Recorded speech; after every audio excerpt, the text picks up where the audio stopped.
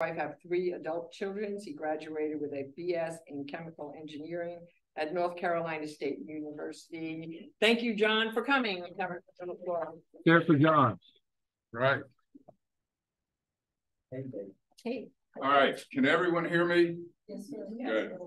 If I start mumbling or anything, just say speak up. Um, but thanks again for uh, having me here today. Uh, I'll talk a little bit about the Coastal Virginia Offshore Wind Project, and then also some other initiatives we have with regards to reliability and making sure that we can always provide energy to the customers that we have here in Virginia. So these are pictures. There are two turbines located 27 miles offshore.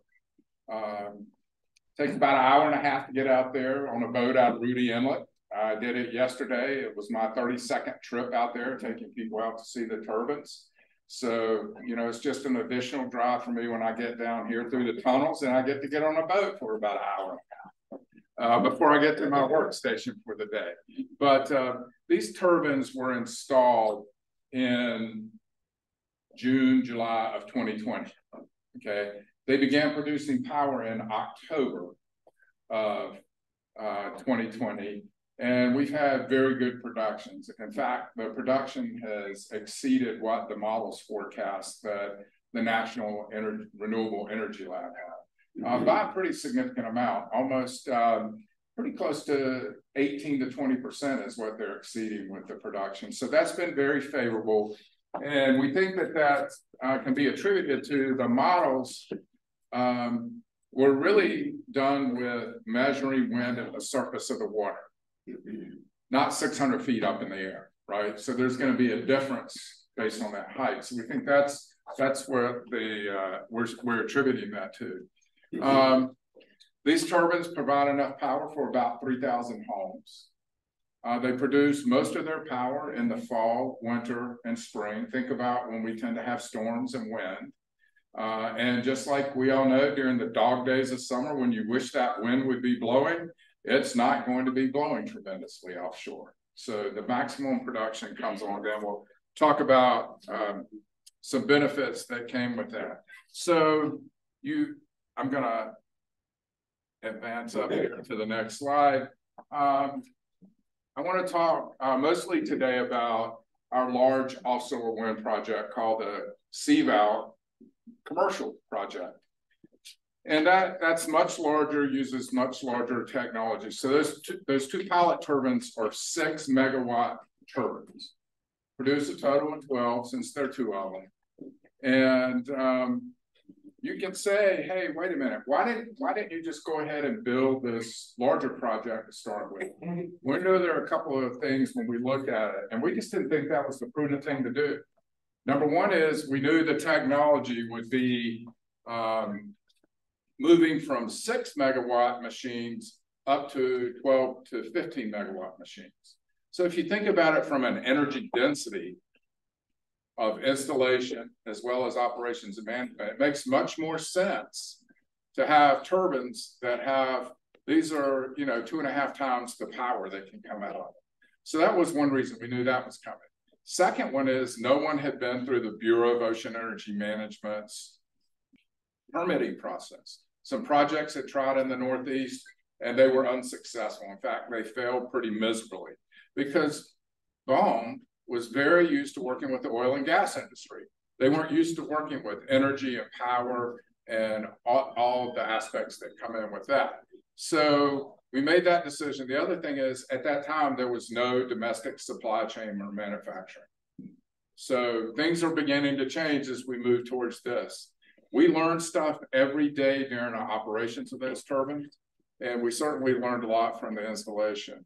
Um, 176 of these turbines will be installed, and that will produce enough energy to power about 660,000 homes. So as you think about that, 660,000 homes is roughly 25% of our residential customers in Virginia. So when these turbines are at their maximum output of 2,600 megawatts, then that'll power about 25% of, of the base. We'll be scheduled to wrap up, and I'll talk a little bit more about schedule uh, on, on an upcoming slide. So I'll ask anybody if they have a guess at how much we paid for that lease in twenty thirteen. You mean the taxpayer paid? How much Dominion Energy bid in and paid in the lease on the, for the lease? So one point seven million dollars. What kind of maintenance does it need? And how much does it cost? And how often does it need it? Okay, so I, I'll go through a lot of. Yeah, just save your questions to the end. Yeah, just So let them go through the slide. we slides. paid one point seven million dollars for that lease. Similar leases are going for about a billion dollars today, the same size. So we were, we were, uh, very, very much involved in this early on and, and looking at how to maximize the value of that process. Um, as we've gone through the schedule, you can see that we've done a lot of activity as far as environmental studies, as far as analysis of what it takes to operate, what it takes to permit, and uh, have these turbines be successful. So we received our approval from the Commonwealth of Virginia, the State Corporation Commission, uh, and we're moving forward now. Just received our draft environmental impact statement from BOEM in December, and we expect to have a final one in September. And in October, we expect to have what's called a record of decision. So that is a uh, an analysis that lets us be able to prepare to move forward, and then they give us the approval for the construction and operations plan uh, within 90 days of that. We'll start work in 2023 this year onshore in the electric transmission right of ways, and then offshore next year in May, uh, in May after the right whale migration season ends. Okay.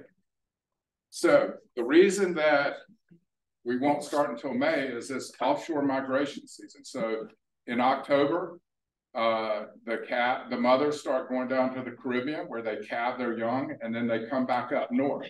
And so we can't be out making noise making activities during that period. So we can go from May to October with noise making activities. There'll be other activities, but it won't be putting foundations in um, and those types of things. So that's that's why that work uh, will take a. And the reason is that you can't do that is it's not that the whales would be hurt, right? I mean, you're going to have a boat sitting stationary putting the equipment on. The challenge is they're curious. I'll almost say they're nosy. They want to go check things out, right? So they'll get off of their normal migration pattern and stray out into waters in different areas that they don't normally migrate in. And especially in the spring, that's when they're bringing their calves back up to the to the cooler North Atlantic waters to feed. So that's why the construction schedule uh, takes uh, uh, three years. So one of the requirements in the statute that um, uh, drives this, the Virginia Clean Economy Act says that you must construct the project with experienced offshore wind partners. So in 2020, Dominion Energy went out and did a solicitation. So we broke our packages down into these groups you see here. The wind turbine generators from for Siemens Gamesa, that includes the tower, the nacelle, which is where the generator is and all the controls for the turbine, and the blades. Then you come down to the transition piece, and that's what you see in most pictures, that yellow piece right at sea level. And it, it what it does is it attaches to the foundation that goes into the seafloor, and it has a flange on top that the base of that tower anchors and connects to. So that's what that structure is, the, the monopile transition piece and the wind turbine. Inter-array cable, that's a, a cable that's about seven and a half inches in diameter, and it connects six to eight turbines to an offshore substation. Okay, and that energy is at 66 uh, kV. It goes there and steps up to 230 kV, which are just like many of the substations that you see around town here. Now, the one difference is these are going to be located between 27 and 42 miles offshore. So they're going to be enclosed in a conditioned environment since they're out at sea. Then we run the export cable in and about a half mile off the beach, we'll use horizontal directional drilling and come up behind the beach so we don't disturb the nearshore environment. And then we will move on and I'll show you some of the details. EEW uh, manufactures the foundation. Bladt has the yellow transition pieces, and then Bladt and Semco are doing the offshore substations. And these are all large, well-experienced European vendors of offshore equipment. Europe has been using wind for over 30 years now. Turbines are lasting well beyond 30 years that they have out there. All the installation, except for the wind turbine, would be done by a company named DEME, and they are uh, a U.S. division of DEME, and they're based up in the Boston area. And then Prysmian will supply all the cable. So these are large wind turbines. Okay, the ones that are out there today, when the blades at its highest point are 620 feet tall. So they're pretty substantive uh, structures.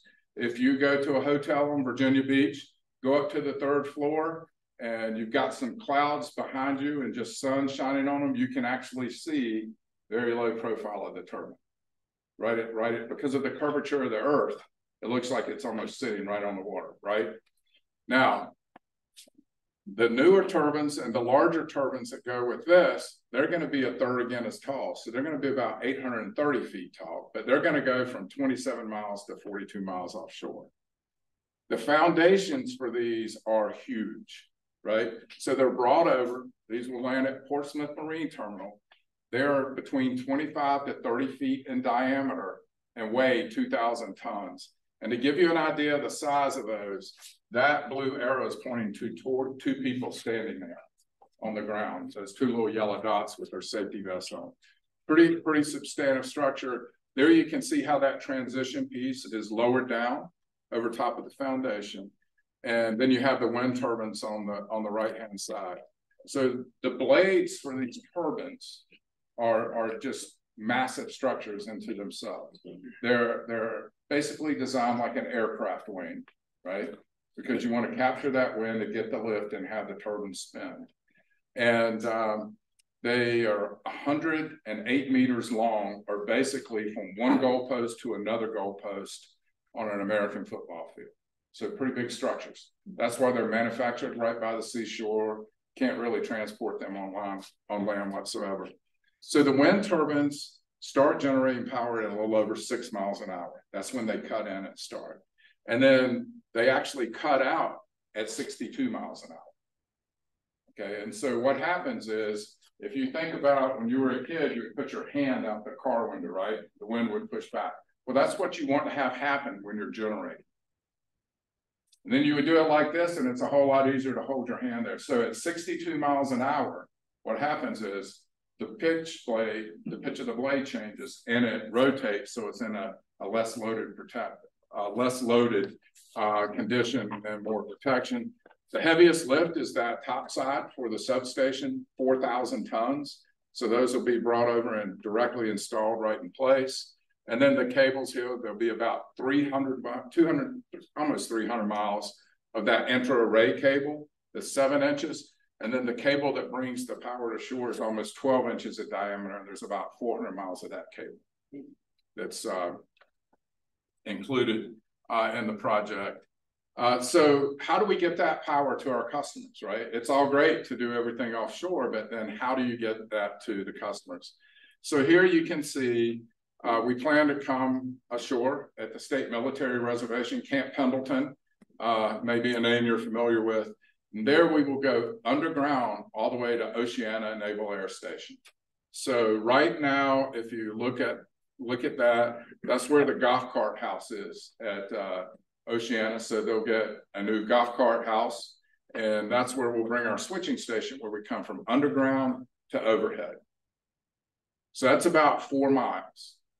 And it's about 14 miles to go from Oceana over to our Fentress substation in Chesapeake. And one of the fortunate things about that is we already have transmission corridors running down a great amount of that, as well as the uh, old road that was planned to connect Chesapeake and Virginia Beach that was never built, that both cities bought the easements for. So the transmission route goes along like that. So it follows existing easements and rights of way uh, through that through that area uh, with the exception of about a half a mile to a three quarters of a mile of new right of way that we have to secure to be able to put structures on. and run the uh, conductors. And then at Fentress Substation, basically, we're just um, almost doubling the size of that substation there to accommodate this. It is such a massive amount of power that we need to get that to our largest transmission lines, the 500 kVs, to move that power around the Commonwealth of Virginia. And so right now there's there's a lot of discussion. So I just want to go ahead and uh, straight up and address that. There's been a lot of articles recently you may have seen about some developers not moving forward with their projects and facing some challenges. So what's different about Dominion with that? Well, many of those projects were developed by third parties who bid for a lease with the Bureau of Ocean Energy Management, but then also bid on a PPA price with the state government in those states. Okay. And the rules were kind of weird that they did for those. You had to have an increasing bid for your lease area, but you had to, in successive rounds, lower your cost for the power purchase agreement. Okay. So these companies went forth and did that. But what they didn't do is immediately go forward and start looking at how do I contract for my supply so that I can deliver at those prices I thought I would have. Well, Dominion's different being a utility, right? So in October, um, once those pilot turbines were installed, just before that, we went out with those bid packages. So we were able to go out and secure our supplies and all the components at great prices before we had this record inflation. I'm old enough to remember the Jimmy Carter days, right?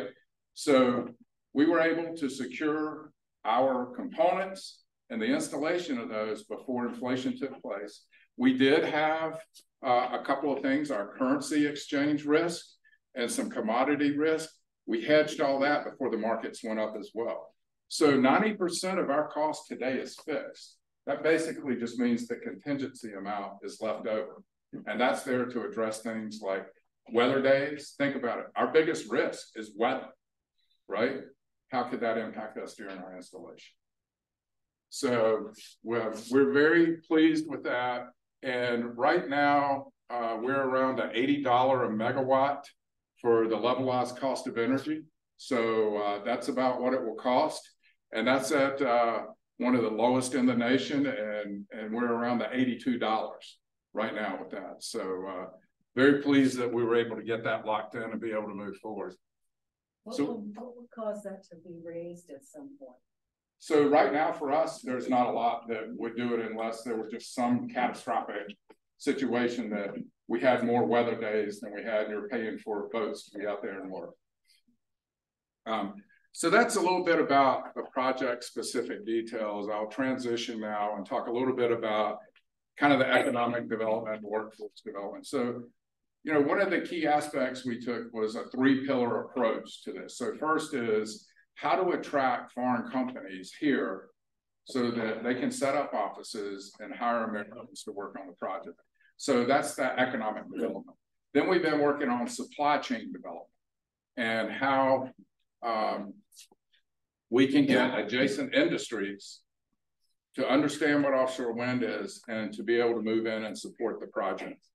So that's our second pillar. And then the third pillar is making sure that we have adequate workforce to support that to support the installation and the operations. So there's some activity that's underway today. Uh, Portsmouth Marine Terminal there, you see, um, and that uh, blue lease area there, that's 72 acres. And that's where all this equipment will be staged. It will be actually tested and it will be powered up before we get offshore. And the reason is, is when you take these offshore, you're going to connect them and immediately they're going to be connected to the grid. So you want them to be able to operate be able to sustain themselves. Okay. So all that equipment will be heated up and tested. And that's going to include everything except for the offshore substation will be staged there. And just behind there, Siemens Gamesa has announced a blade finishing facility. So they'll bring over from Europe what are called green blades. Reason they call them green blades? They're green fiberglass. And so when they come over, if you think about it as fiberglass, they're going to install some instrumentation in it. They're going to paint it, and then they're going to put gel coat on it, just like a boat, right? So it's going to be very similar. It's fiberglass is what the material is. But obviously, it makes really good sense to have that right behind our staging area because as those turbine blades, then they can just roll them right down to, to go out to the project. Uh, just across there are Lambert's Docks. You may also know it now as Fairwinds Landing. Uh, and that area is used to be the old Norfolk and Southern coal yard and for export. And they are repurposing a portion of that. And our uh, control center will be located right in that, that corner there on Elizabeth. So just across from where the staging activity takes place. So what makes it really great sense for the Port of Virginia and Hampton Roads to be an offshore wind cluster?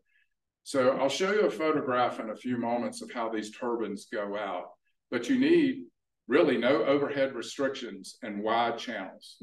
That's pretty critical when you start taking these, these components out. And if you look at this, straight out of Portsmouth Marine Terminal in 20 minutes, you're at the mouth of the bay with a loaded up full vessel, right? I come down here at least every week, spend a night or two, sometimes three nights like this week. And I've learned that coming through those tunnels, music and podcast are great things because there's not anything you can do about it if you get stuck behind something, right? So you might as well just just be at one with yourself. But because of that and the needs of the Navy to have that open access to the sea, that makes us very well situated to become an offshore wind cluster like they have in Northern Europe uh, and some of the countries because of the access and availability to be able to move goods out. So we're trying to leverage the resources we've had. Now, what are we doing to, to keep growing that? This is a list of companies that are involved right now in the offshore wind uh, aspects of the project and some of them onshore. So we're getting way beyond just those prime contractors and at looking at how that multiplies down through the economy. So Skanska right now is the port upgrade contractor at PMT because that used to be a container ship facility, right? Well, that container ship facility can't support the weight of a monopile that weighs 2,000 tons. Okay, so that, that port is being upgraded so it has the weight bearing capacity that's needed.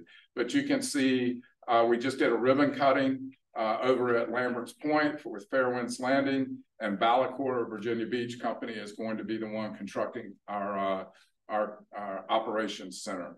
So a lot of activities, even uh, Luna over there in the middle on the right. This is a company that uses technology to, to track and manage that health of the cables. And they're based in Roanoke, Virginia. So we're seeing that growth take place across the Commonwealth. So right now, uh, we're, we're seeing the benefits of working on that. That bottom right picture uh, is what will be built over at Fairwinds um, Landing. That's our uh, control center. So it's a marine coordination. If you think about it, there'll be 52 boats working out there when these turbines are being installed. So you have to have a marine coordinator. So we have we'll have that, and also during operations, you keep track of everything that's going on, as well as our regular control room for the turbines, and then of course a warehouse. So you can see the U.S. spend right now is about 155 million. The majority of that again being in Virginia. Uh, clearly, it's 760 people working on the project uh, that have touched it and worked on it so far in Virginia versus uh, a little over 900. Uh, the really nice piece of that is almost 530 of, of those individuals working on the project are right here in the Hampton Roads area. So that pile, those pilings that make that uh, that uh, quayside stronger or the dock stronger there uh, were actually made at uh, the coastal precast right over there at Cape Charles, so just across the Bay Bridge Tunnel. So uh, good benefits there, and uh, those are pictures of those pilings in the top right. So think about something the size of a large commercial uh, refrigerator that's about 200 feet long that's driven into uh, the uh, soil so that that uh, capacity can be upgraded. So we'll also have a little fleet of vessels that will be supporting offshore wind. These we have two of these uh, crew transfer vessels. We have one right now that support the operations of those two turbines. But think of them as the Uber, right? They're going to move people and goods back and forth, back and forth to from shore to the wind turbines. So those are crewed by uh, four people, and then they can take up to 28 people in and out as they go. The next vessel is called a service operations vessel. It's just like any other large vessel. Um, you'll have, um, that's where your offshore wind technicians will live, warehouse technicians on the boat, and then the crew that operates it. They'll do two week deployments. So two weeks on, two weeks off. So they never get vacation because they get two weeks off every month, right? But they're on two two weeks and they're going to work 10 to 12 hour days. And so they'll be uh, uh, well remunerated. But uh, this is a new design with the vessel. So traditionally, what would happen is a crew transfer vessel would pull up here with this big bumper on that transition piece. And then they have to walk off of that, step onto a ladder and climb up about uh, 100 feet. Okay, that's the most dangerous part of offshore wind work is making that transition and getting up there. So this new design, you can see there's a tower in the middle and an articulating arm. So it's a stairwell is what that tower is. So you just climb the stairwell, that arm goes over and attaches to the platform there at the top of the transition piece, and you just walk to work. So it's a really interesting vessel. It certainly will be, have all the modern amenities. Each person has their own little studio room. I mean, it's small, right? It's going to have a bunk and a shower and a bathroom, a little sitting area. There'll be a uh, galley for eating. There'll be a gym and there'll be um, like a, a room for if people want to take online classes, if they, they'll have rooms with screens in here like this so people can stream movies or do video games during their off time. Uh, and all of these vessels will be Jones Act compliant. The one thing that has not existed until Dominion Energy's parent company uh, made a determination uh, to build an offshore wind turbine installation vessel, the Charybdis. It's being built in Brownsville, Texas. It's being built with American steel that was made in West Virginia and Alabama. Um, same thing with the Crest vessel you see there. It's being built in Wisconsin. Um, one thing about Jones Act, uh, U.S. kill laid, U.S. kill made, U.S. Uh, U.S. made, U.S. owned, operated, and flagged. So uh, that's what we have. If you think about it, it is a massive jack-up platform, right? So that's what this is. And it is capable of lifting those towers. And I'm, I'm remarked about the overhead clearance. So those towers are about 450 to 500 feet tall. And You think you got 30 or 40 feet of uh, freeboard from the water up to the deck. So when they go out, you can see why no overhead restrictions are pretty uh, important as you go and do it. But they can load up three towers. Excuse me, for this one, you can load up four towers, four of the nacelles, and four sets of blades. Keeping in mind those blades are loaded in there 108 meters or end zone to end zone, basically going down the Chesapeake Bay before they come out to sea. You'll have a typical uh, operating crew uh, that will be doing the installation of around 70. The vessel can take 119 people on board. So the balance of those people are the folks that operate the boat, if you will. All of these boats will be home ported right by the control center. There's a dock there that they'll all be tied up to and serviced when they're in port. So I want to start now and I want to shift a little bit towards reliability. And, um, you know, Dominion Energy has for a long time had really nice uh, growth for our electric customers. So that growth has been around 2% a year. It's a little above average for the, the company, but we've got a pretty robust economy. You can think of the past years, how we've uh, been rated as one of the top states to do business in. We've got some dynamics that are going on, and two, two key factors are driving this. Electrification of appliances and vehicles, right, is a huge thing. Just to give you an idea, if you plug in the largest uh, battery capacity F-150 Lightning that's the equivalent energy needs of a small elementary school. Okay. Mm-hmm. So think about in your street, if you pile a lot of those on, mm-hmm. what that's going to do to the electric demand. Also, data centers, tremendous. Used to be data centers were one story and took about 60 megawatts. Well, now they're going to be building four and five story data centers, and they're going to take about 600 to 700 megawatts of energy to run each one of those. Okay, so pretty, pretty significant growth that we have. And what that's changing is from a two percent uh, growth rate up to a five percent growth rate as we go forward. So pretty, pretty uh, tremendous change from what we've had, and it is going to take an all of the above approach. And so what does all of the above mean? That means we're going to need to be able to use what renewables we have. We're going to need to keep our current power stations operating longer than was originally envisioned. And then we're going to have to look at new nuclear and we're going to have to look at additional natural gas resources so that we can meet the needs of the customers. Because wind is a very great resource. So if we talk about the economics of wind, so over the first 10 years of operations, it saves $3 billion worth of fuel costs for customers. Okay.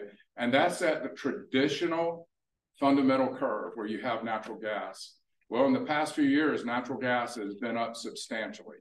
And if you actually, that were to become a new fundamental curve, you're going to end up saving between six to seven billion dollars of fuel every 10 years. And the project has a 30 year life. It costs $9 billion, $9.8 billion, but you're going to be saving substantial amounts of that. Uh, and, and it comes into play and being real important.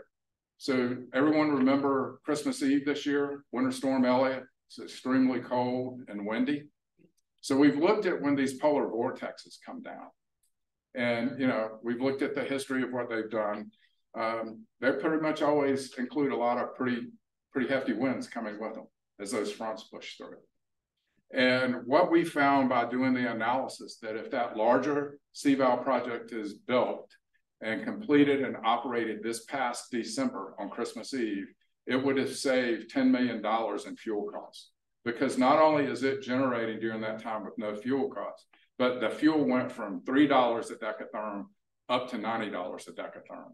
So you had the spot pricing that was really driving up the cost of fuel to, to operate. So what we've done is submitted plans on how we're going to address that. And there are five different curves. But the most critical point to take home here is we do not want to be reliant on states around us to provide energy, right? Because you don't know what their energy security is and what might happen. So it's pretty important for us to look at plans and make sure that we can meet the needs of our customers. And there are five different plans. And um, really, it's going to take a lot of technological advancements to get there. It's going to take whole economy wide investments and uh, to move power around in the system today versus how it used to flow in the past, and then the continued supportive uh, policies that we have. So these are the plans that, that are have been submitted to the state corporation. That integrated resource plan is not saying, hey, we need approval to build this or to build that. What it's saying is, here's some scenarios that we can believe we can achieve to meet our customers' needs over a 25 year period. So that's what the integrated resource plan. Uh, but there's some pretty um, key highlights in it that, that came in with this year's plan that had not been in prior plans. So first off, I'll talk about nuclear, right? So right now, Dominion Energy actually operates seven nuclear units, four in Virginia, two in Connecticut, and one in South Carolina. So we obviously are big fans of nuclear as far as that goes. We just uh, had the operating license extended at Surry by the Nuclear Regulatory Commission, and we just also marked on uh, 50 years of operation there. And uh, right now, North Anna, uh, over in Louisa County, that's pending approval as we move forward. And we've had really great performance of our fleet. Uh, pretty continuously, we rank in the, the, the top decile of uh, nuclear operators looking at cost and safety. So it's extremely important for us to keep our nuclear units operating today. They provide about 30% of the energy for Virginia, okay? But it's very clear that if we're gonna move forward, we have to have additional resources that are not renewable and, and intermittent in nature. So what does that mean is that we're gonna look at small modular reactors. So that's what this year's plan includes. And it ranges depending on which scenario it is. And the 1600 is about six uh, small modular reactors. And then you can see as you get up to there, you're talking about sixteen or seventeen small modular reactors. Small modular reactors are, are pretty simple. Uh, they're, they're pretty much all uh, really modeled off of, say, nuclear reactors that are in aircraft carriers, right? So very safe to operate and they can follow load and operate much differently than the traditional nuclear reactors of today that once you start them up, you want them to run continuously until their next outage. Okay. Um, other areas that, that we're looking at uh, needing to make investments. Um, we recently uh, announced uh, looking at the Chesterfield Energy Reliability Center.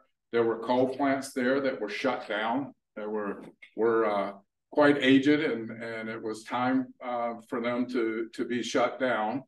And um, what we're looking at now is putting four uh, combustion turbines there.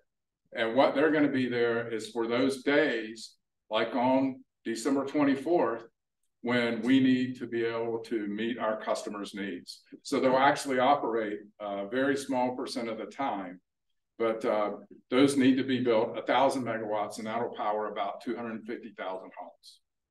Okay. So that winter storm Elliott, some interesting facts. We were able to meet our customers' needs because our generators, we take care of them, they operated, and we were able to produce power. Okay, Maryland was struggling. And actually, we had the ability to increase our output, and it kept Maryland from having rolling blackouts. Hmm. Our neighbors to the south did not do that. At Duke, they had three units that didn't start, and they had rolling blackouts in North Carolina. Tennessee had rolling blackouts because TVA had some issues with some of their units starting when it was cold. And it's freeze protection. Okay. Typically, it's not that cold. The further south you go, I mean, I grew up just south of Raleigh, North Carolina. It's going to be four or five degrees warmer almost always there than it is up here. Okay. So they didn't have freeze protection. And you say, what is freeze protection? Well, you know what the majority of it is? Putting a metal building around your turbine so that it breaks the wind off of them and things don't freeze. And then anything that you need to, you can do heat tracing on and keep it warm. So um, the other thing is LNG backup. So for our existing gas plants down in the south central part of the state, uh, have liquefied natural gas to be able to supply them fuel. When that fuel goes up high, if we've had it bought and stored already, then we take away that volatility. So that's pretty much uh, the presentation. So Are you ready for questions? So we'll start with the cost, okay? So um, we wanted to know how much did uh, Dominion invest in it? I mean, you were talking about buying the, but what else have you invested? So, and how long will it take to get a return on that investment? And how much is from the taxpayers? If there's like a tax that's on our bills to help pay for that? And does your cost include, I just want to get them all out at one time. Okay. Does your cost include backup power? And um, what is the payback period for capital expenditure? And how much will the cost of electricity increase for customers? So um, let's see, the project cost $9.8 billion. Okay. There's been a little over $1 billion spent to date on the project um, that, that we've done.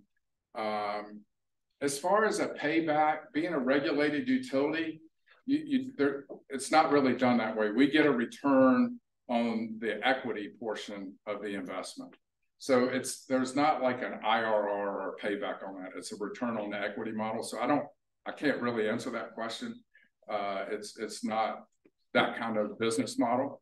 Well, we're told that uh, that the ratepayers are paying for actually building it. That's correct. On a monthly charge. That is correct. And and the customers will pay for the cost of that, and all the energy comes to the customers, right? Mm -hmm. So uh, on average, it's going to be around uh, 420 to 450 a month over the life of the project uh, for the cost of this project for the cost of the offshore wind. So then you might be raising your rates if the wind doesn't blow or? No, no, it's a part of a uh, diverse generation portfolio. So let's talk back to those Jimmy Carter days. What did you have as generation? Hydro, the beginning of nuclear, coal, natural gas, and oil, right? So now as we move forward, you're going to still need a diverse generation portfolio and you look at how your units provide to make sure that you can deliver that power. And so what are we going to have now? You're going to have nuclear, you're going to have hydro, okay? You're going to have um, natural gas, you're going to have some of the coal units uh, remaining, and then you're going to have offshore wind, you're going to have solar, and you're going to have battery storage. So it's interesting in those scenarios that I put up, those five cases in the uh, integrated resource plan. And uh, the ones that it naturally selected, if you look at it as the optimal the ability to get to uh, with the cost, actually were a balance of these renewable resources with adding the gas and nuclear. So, um, you know, Dominion Energy will supply and we self-supply our customers' needs. So that's what we do. We try not to rely on imported energy. Okay, um, so how about high winds? Is that going to destroy the wind blades? Great question. So we looked at the recorded history of time with uh, winds here uh, at this latitude, back to, to any storm that had been recorded. Uh, and we looked at those wind speeds and then added a safety margin on top of that because you just, you know, I can say that, but you don't know what the next storm will be always. So it can take sustained Cat 2 hurricanes in the design, and it can take Cat 3 hurricane gust for shorter periods of time. So very robust design. If you think about it, these turbines and where this all initially started was in the North Sea, right? Howling winds and just ferocious seas. So they're designed already to be rigorous and to be able to operate and survive in those types of conditions. So what if we had a cat four, cat five? Do you Well, shut them you know, down? Uh, oh, they would be shut down well before uh, a Cat 1 hurricane wins. Um, so, I mean, there's never been a recorded history of really even a Cat 2 up here, right? So there's pretty substantive safety margin in there. Yeah, you can't, you can't depend on that. This is true. Okay, You does it, wait, we have questions here. Okay, does it take oil to uh turn the turbines and does that leak into the ocean? No, they're direct drive turbines. The only hydraulics on the turbine, uh, the direct drive generators, the only real oil on these turbines uh, is in the hydraulics. So the blade, then the nacelle and blades rotate so that they optimize the production in the wind, right? And those are hydraulic pistons that push it and then also reset it. So it can go around a time and a half. And then the cables that connect it have to unwind. And so those are hydraulically driven. So a very small amount of oil in that hydraulic system. And there's no way to prevent that from going into the ocean? So there are multiple layers of protection. So uh, it's going to be in a double wall container that oil, and then it's going to go to the hydraulic pistons that would drive that. So it would be pretty difficult to see how that would get into uh, the sea. Okay, so what is the water depth of the turbine? How deep are the foundations driven? So Yes, into the base the of the ocean? of the water in the wind energy area is 80 to 120 feet. And the foundations typically go in around 160 to 100, 180 feet down into the seafloor. That was the concrete pilings, so, so It was steel. The So steel- they're oh, steel- Steel. It's plate steel. They roll the plate and I didn't grab one I usually do. The steel is as thick as a dollar bill is long. And so when they put these together, they roll them, pick them up, and there's a person welding on the inside and a person welding on the outside uh, at the same time as they uh, build So these. that's the fun one. Yeah. I thought you showed some picture earlier of concrete. That was Oh, gonna those were the pilings for PMT so that they can take that weight bearing. So those were the concrete pilings. So it's pre-stressed They concrete. are Those, driving pipe pile. The great big thing. yeah, yes. Okay. Okay, how does the wind turbines compare to underwater wave motion generator? There is a system that operates using water very high output. What happens in heavy weather, fog, ship collisions? So I'm not really aware of any underwater current installations other than I know at one time in Northern Europe, there was a small one. Um, so I don't, I, w- I don't know how that compares. I can say that the levelized cost of energy for offshore wind is more than a simple combustion turbine. It's roughly on par with the cost of a combined cycle, and it's a little bit less than uh, new small modular reactors. And then, so for fog, there'll be so there'll be lighting on on the structure. So right around sea level, you're going to have marker lights, just like you would have anything out there, uh, so that any vessel navigating the area can see them. And the wind turbines also act as a safe haven if some mariner had issues, so they're able to get onto them if they need to. Um, so there will be low level lights around the water level so that that people can see those, and then there'll be aviation lights. But the technology is there now so that there'll be a few of those on interspersed to mark the wind energy area. But unless an aircraft is flying directly over it, they won't all light up. Mhm. So that's how you look at mitigating light pollution uh, for those types of things. Okay, so there's a couple of questions here on the dead whales washing ashore. Um, and marine life and turtles and fishing. So could you like, um, talk about any, um, adverse reactions to wildlife? Yes. So I'll start with fishing first. I was out yesterday, like I said, my thirty-second uh, turbine tour, and there were seven boats out there fishing around the foundation. So these pilings go in, and then you have the transition pieces. Well, around each one of those are roughly three train cars of two to three foot boulders to be scour protection. So what does that do? That creates a tremendous artificial habitat. People were pulling uh, flounder and black sea bass off. When we do our unmanned submersible uh, work, you can see all sorts of marine life from bait fish at the top of the column all the way down to juvenile sea bass in those rocks as they grow. So I used to fish out of Morehead City. And you know, kind of the mid-Atlantic's a sandy desert, right? There might be some wrecks and a few rock outcroppings. But what these are doing is creating artificial habitats. People can go and fish right up to them. We ask that they not tie off to them. They're private property. But you probably don't want to get that close because steel and fiberglass don't mix real well. If you're 27 miles offshore and the steel is, I'm pretty sure going to always win in that case. So you need to, most people anchor up 25, 30 feet away from the wind turbines, and then they cast to the base of the turbine and let their bait uh, sink.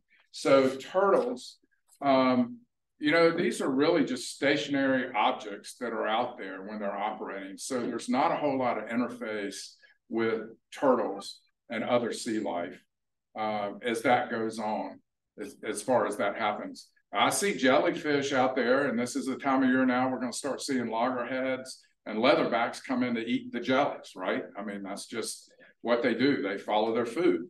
Uh, so you're starting to see a lot of the little jellyfish out on the last couple of trips I've been on, and I've seen a couple of loggerheads. Haven't seen any leatherbacks, but that's also one of the reasons that we're using the horizontal directional building uh, drilling starting a half mile offshore because we don't want to disturb the ecology of the near shore environment, and that's why we'll come up behind the dunes with those cables. So if turtles are nesting or those types of things, they won't be bothered about it. Wells. So let's talk about wells. Uh, you know, there's been a lot lot said about wells and um, there were a couple of well deaths this year and those were pretty much attributed to ship strikes right? There were no offshore wind vessels working during that period of time in virginia so they can't be affiliated with offshore wind. Um, you know there have been some other ones to the north of us. Uh, the interesting aspect is that in one particular state that highlights a lot of it there's no offshore wind activity up there right now so the correlation doesn't seem to be there. Is it something that needs to be studied and we need to be sure of? Definitely, right? That's why there's robust studies. And also, um, anytime we're doing work out there, there'll be observation boats, like a picket line around the entire area. And that will have protected species observers on it, looking for marine mammals and marine life. And they can immediately stop all the activity at that time. Okay, um, a couple questions on the corrosion of the blades. I mean, will they, because of seawater and stuff, will there be any kind of corrosion? And how long do the blades last? When you decommission them, do they get recycled?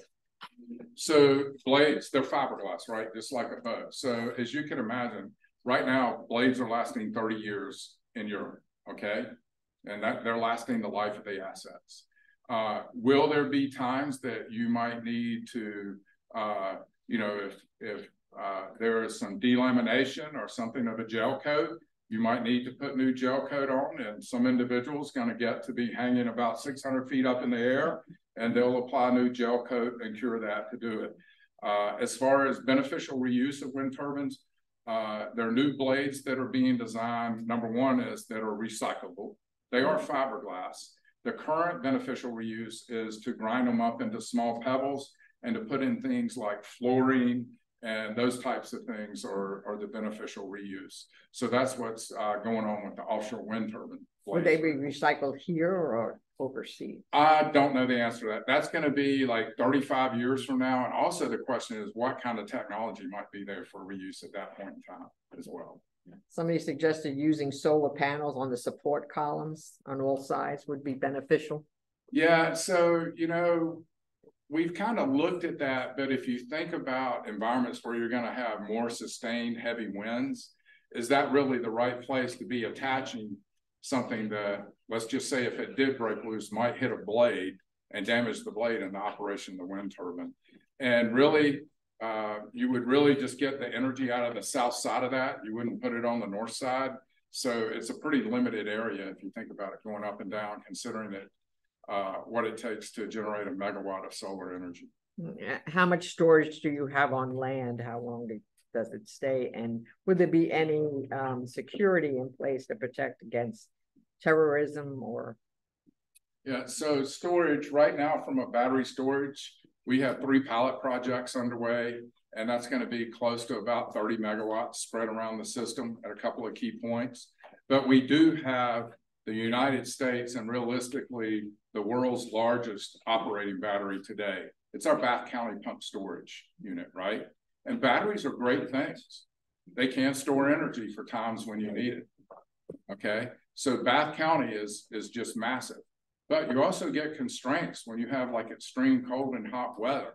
You can't recharge those storage. So on that December 24th, the grid operator, PJM, would not let Dominion Energy send energy there to repump uh, up to the higher reservoir to recharge that battery. Same thing with uh, lithium ion batteries today. Uh, during that time period, the, the peak load was at 0400, four in the morning. Well, if batteries have been running since it was dark, they discharge in four hours with lithium ion. So they would not have been capable of supporting that. So batteries are great things. They're just not the be all end all as you go forward with that. Um, how about- Yes. How about the impact of bird migration? So another good question. So there were two years of studies with people out on boats looking for birds in the wind energy area, right? Uh, so you start with that technology of, of people out there being observers and, and tracking. And one thing that was very clear as we looked at it is that birds tend to stay three miles or closer inshore. I'm not going to tell you that an albatross or a petrel won't be further offshore, but in my 32 trips out there, I've seen one petrel, and that was about halfway out. Came out, checked out the boat, and left. Right. So we don't see a lot of birds. We've got two technologies though to continue and track that with these demonstration turbines, these pilot turbines, right? So what do we have? We have a LiDAR system that as anything approaches the, the turbine blades, it starts taking pictures and we have not had a bird impact yet. The other thing we do is we put monitors on top of the turbines and where the birds are tagged with the RFID chips. If anything comes along out there that's that's tagged, it'll pick that up. And we're really not getting readings off of that either. So there's just very few species. And if you've ever been offshore fishing or you were in the Navy, you know, out in the middle of the water, there are very few birds. Okay, um, the SEC failed to get a performance standards on this project in twenty twenty-two. Eight multi national companies in three states have backed out of wind contracts due to cost problems. Is all one question. VEPCO's stockholders are projected, but not ratepayers. Only VA has this happening. Why is VEPCO having a knife to our throats? So I will say there's a very big difference between a regulated utility building this and the surety that we took to go and get that fixed price slide that I had up there previously. And if you remember when I talked about it, kind of the elephant in the industry is these companies all came over here bid up the price for leases, and then had to subsequently to be the winner of that and keep increasing the price there, lower their price for their power uh, purchase agreement. So um, that's a very different scenario. When you look at the actual ownership cost of the project over its life, a regulated utility model is much less expensive. A PPA is going to start out at a price uh, the same or a little lower than ours, but it's going to have um, an index on it every year that's going to take that price up typically two and a half to three percent. So by the time you're about five to 10 years out, those curves cross and the cost of the PPA goes up. Companies will also only do uh, PPAs for 20 years, not 30 years for the life of the project. So then what do you do to replace that capacity? You have to build new generation online. You have to go and, and find a way to, to get that generation to be able to meet uh, your customers. And it's a little risky when you're saying you hope you can negotiate something that's a good deal, right? So uh, that's why as, as the evaluations were done here, uh, it came out that it was uh, a better economic um, uh, situation for our customers to, for Dominion Energy to build it versus taking a power purchase agreement. That's because the, the ratepayers are taking all the risk. All of those other companies, there's risk that they are having to take. Only the General Assembly stuck the Virginia ratepayers paying for that where Dominion and Dominion stockholders are not going to get stuck holding the bag. So there are uh, cost protections and the cost of the project uh, as that tell. goes forward. How can we tell? Because so much of the projections and everything else, you either had to sign a non-disclosure agreement or an LCC, that's it.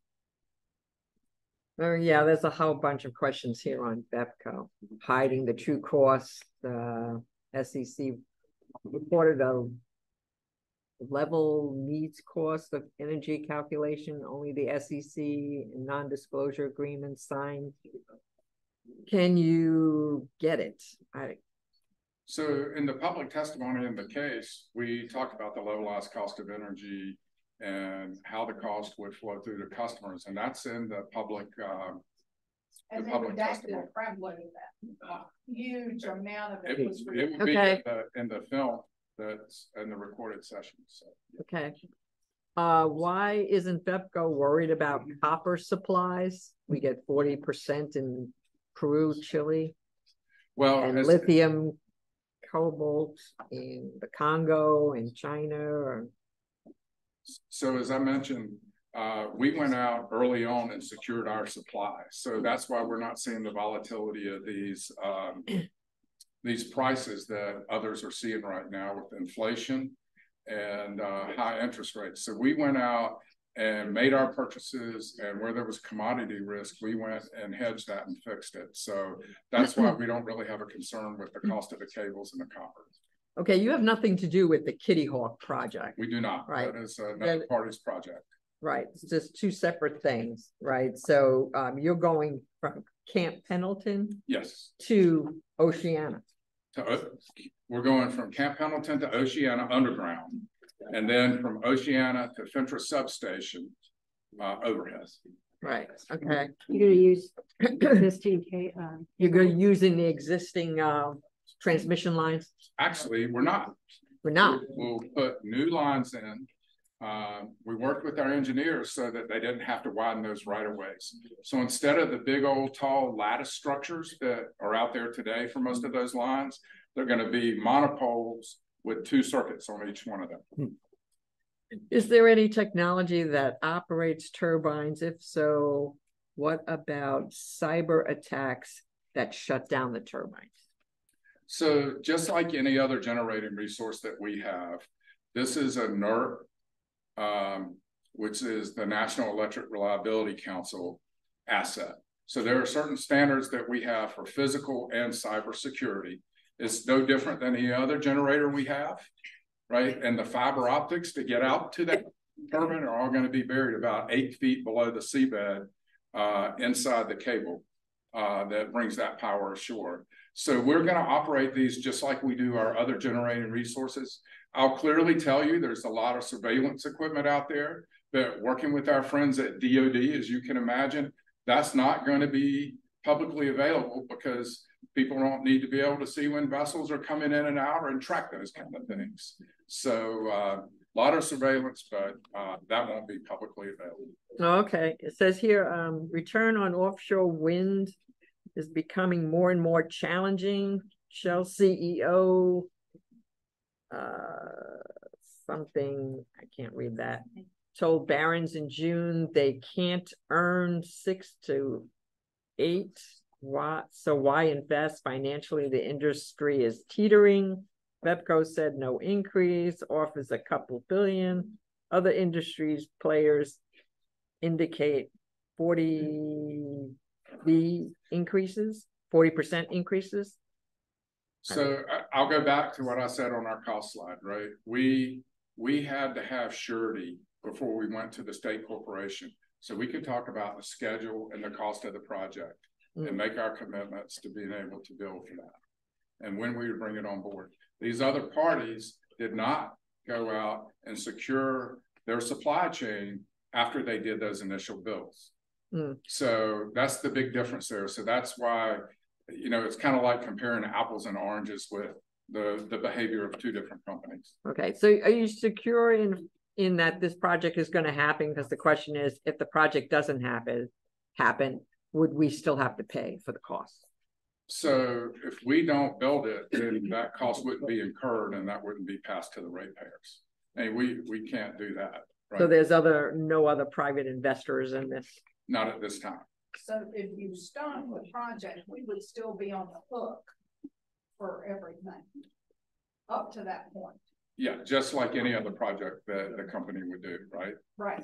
No, uh, So- un- unlike other companies that take some of the risk, Dominion Energy is not taking the risk, it's the ratepayer. Well. So, you know, just like it's a regulated utility model, so that's the case. But you would have substantive cost if another company had planned to build a generation resource at this time and what we would have to do to replace that in a short period of time. I don't know what that cost difference may or may not be, but it's not that there would be no cost. Okay, um, so, um. When we get out of RGGI, you just got it where. First, we weren't paying for that, and now we are paying for it, but now we're coming out of it. What's Correct. going on with that? So um, the governor has moved forward and made the decision that the Commonwealth will no longer participate in RGGI. So uh, we held off on that while we were trying to get resolution of it. Uh, we got resolution now. It's not, but there were costs that were incurred the first couple of years that are being uh, recovered now. So that's the status. And as we know it right now, uh, we're no longer a part of RGGI. So we're only paying in it now until we pay back when we weren't paying? Yes, Well, you had put exactly the right. money in there. When that's done, that's done. Okay, so you listed all the jobs created uh by this project. But this project replaces existing power plants, natural gas, coal. How many jobs are lost there? Are most of the jobs in building the project or maintaining the project?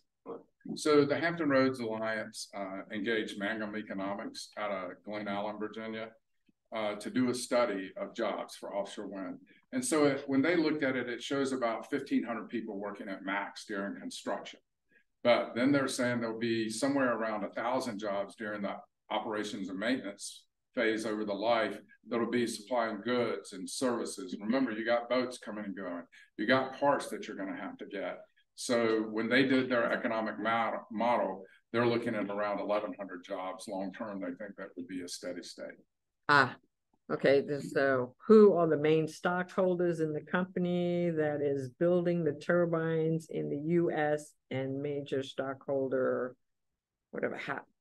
They're asking because they want to know if these are US companies and can we control them? So we're the major company that's building this, right? And we have those suppliers up put up Siemens Gamesa, EEW, Bladt, Semco, DEME, and Prysmian. They're European companies. They have US offices and operations, but they're European companies. There is no offshore wind manufacturing per se today in the United States. You have a lot of plants that are being built so that they can be manufactured here, many of them in New York, New Jersey, and Massachusetts, and then we have the blade finishing facility here. PJM four trends putting electrical grid reliability by twenty thirty. One is intermittent and limited duration resources. What are you, VEPCO, doing to alleviate this? I'm not sure exactly. I exactly understand. I don't know who asked the question. I, I just read it exactly what they said, so. If somebody wants to ask that, who wrote the question? No, okay. And then this one over here, um, at start of twenty twenty-one, according to US Energy Info Agency. CO two admitted to provide electricity grew by three point seven million tons. This focus to import a lot more, increasing energy costs. Uh, the eleven percent or thirteen or hundred and thirty million megawatts import upon went from 2020 14 mil, million megawatts to 39 million in 2022. I don't know. Did you write them? Yeah, the, for the PJM, there were four trends that they said put Four our electric grid, grid liability as a higher issue in seven years. And one of those are intermittent and limited duration resources, what, which is what this is. Okay, so that puts our grid at risk. What are you actually doing to alleviate that risk, to take care of the intermittent issues with solar, wind, and that kind of stuff? So that's where small modular reactors and natural gas plants come in to fill the gap when those intermittent resources aren't producing, then they'll fill that gap. What about nuclear? Small modular reactors, nuclear. So yes. you're not doing regular nuclear, you're doing those. instead. Yes, yes. Okay. So it's, it's a quarter after eight now, so if, if you're gonna hang around, maybe some people would like to ask you some questions afterwards. Chair for John. Yeah. Thank Thank you so much for coming and doing that. These are a lot of questions and I'm sorry if I couldn't read some of your questions, your writing. I apologize. Right. No, wait a second. Kind of grave. Uh, yeah, yeah. Diana, are we going off now? Yeah, okay, well, we could, we could do the candidates now, we have Oh, a couple yeah. of candidates here that uh may want to speak, uh, so. Um, we have Nicholas, right? And Mike, both of you are running for the ninety-six district, so if. Uh, you guys would like to come up here and answer a couple of questions or just uh tell us more about yourself, who wants to go first? Come on, Nick, you were here first. Need the microphone or am I loud enough? Well, I don't know if you're loud enough, That's me. Am I loud he enough? you. Or do, I- do I need the mic? Yeah. It's not even on. Um, Turn it on. I'm trying, I'm trying, buddy. Can you hear me? I can hear you, All right. I'm right here. So I'm Nicholas Olenek. I'm running as the independent for the ninety-sixth district of the House of Delegates. Um, like starting with questions instead of me rambling. Anybody have a question for me? No? All right. My emu, my emu is doing well. It's with his boyfriend in um Cedar Grove, Tennessee. Everybody keeps saying not Nashville, but Cedar Grove. I just watched it and talked to her um today on the um phone and video chat. She's with my best friend and she's doing very well. So what was your platform for running? What are you running? What, what am I running for? Yeah. Uh, I'm running for delegate. Oh, No, why? All right, so one of the things that came up that I want to talk more about, I talked last time at the other party, was with Mitch McConnell and um Feinstein.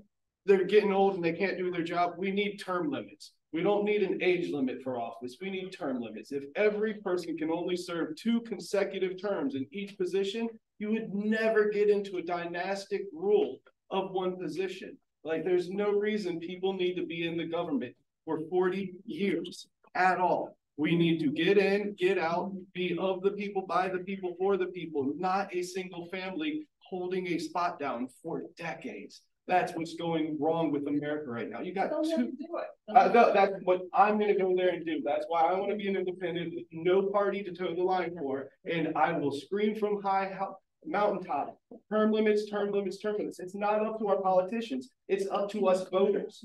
Don't say they'll never do it. If I get up there and I make them in Virginia have to do it just by being the loud squeaky wheel on this, you'll see who is not for it. Vote them out until we get other people in to do it. It is needed. Teresa? Teresa's got a question. Yes, um, I'm probably one of the few people, I, we have term limits, they're called elections. So right now, we have a very low voter turnout, especially in our off elections. And I feel like if you make it just that much more easier that somebody says, oh, I'll just wait till they're done, I don't have to worry about it. I feel like it will it will increase or decrease even more the participation. Government isn't supposed to be deciding who you have in office, the voter is. So I'm, I'm not for term limits. I think that it was set up really well. If somebody's too old and not doing a good job in office, then you don't vote for them. I get that, but the age shouldn't be how you said they're too old. There should be no age bracket. If you're elderly but still spry, you should be able to be in it. What I'm talking about is somebody getting into a position and staying there and wielding the power for so long unchecked. If we just put it to where you can serve five, six terms, but you can only serve two consecutively. Go take a time off, maybe serve in a different spot. But if we do this, that will open it up for more people to participate. We do need to get younger people like me. That's why I'm running. I want younger generations to come out. I'm doing this out of my own pocket with no big party to show you don't even need money to get up here on this stage. You can do this just as a concerned citizen like I'm doing. I, I that's Okay. half of my thing. Okay, Robert has a question. All right. Uh, I guess with what we've got hanging over our head like a big black cloud right now is a five point one billion dollar budget surplus at the state level here in Virginia Beach, where it's hovering around hundred and eighty billion million dollars. So we've got all these excess revenues. Mm-hmm. If you get elected to the General Assembly, you're one of one